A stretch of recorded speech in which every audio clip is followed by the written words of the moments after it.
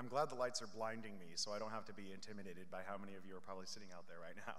Um, first of all, I just wanted to say a few thank yous. Um, I, I, I, wanted to thank Outfest first and foremost. Um, it's a little overwhelming for me to have this opportunity to play the film in such a beautiful theater with such a great crowd.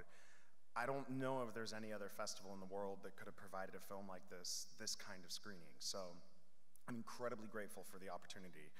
Um, I wanted to make sure to thank Kirsten, Laura, Joe, KP, Kim, Alonzo, Christopher, and the dozens of other volunteers and employees of Outfest, because you guys have been incredible, and it's certainly the most welcome I've felt at a festival before. And I think the film, you know, is, is going to be so much better from it and the attention it's, it's been given. I'm very, very grateful for it. Um, you know, I spent a lot of time on this movie. It took a long time to get the rights from David, it took a long time to convince him, and it took a long time to get the film made. So getting to see it get out there, it's, it's getting a theatrical release in September, um, and getting to play Amazing Fest. Yes, I know.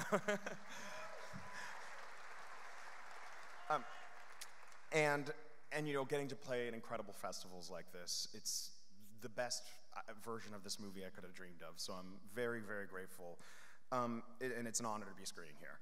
On top of that, you know, this movie, I always felt at its heart and its subtext, it was about more than anything about trying to discover a community you, you fit into and the trial and errors that can happen along the way of making that happen. So being here, it's certainly um, the closest I felt to my own community, both Los Angeles and the LGBT community. So I'm very grateful for that. Um, not to ramble on too much more, uh, I want to just give a few more thanks. Um, the producer who's been with me on this movie from the very beginning, Cookie Carosella.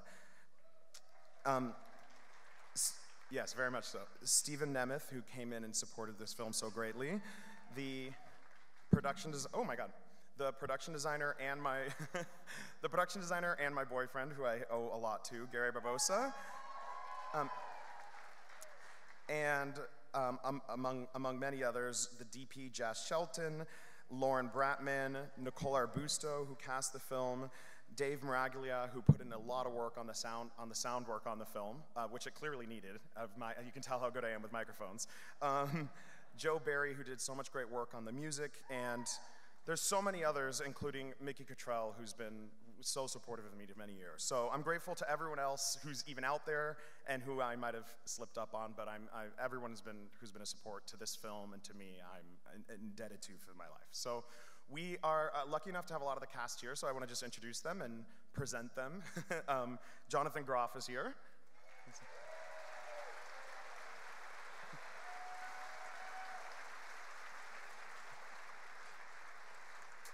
Denis O'Hare.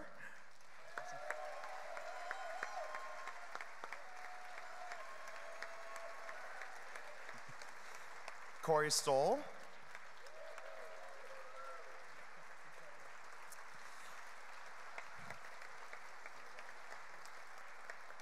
Casey Wilson.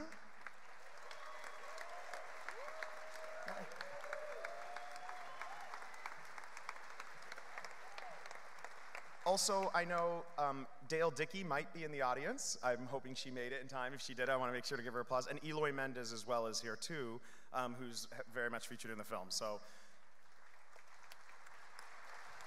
lots of fun.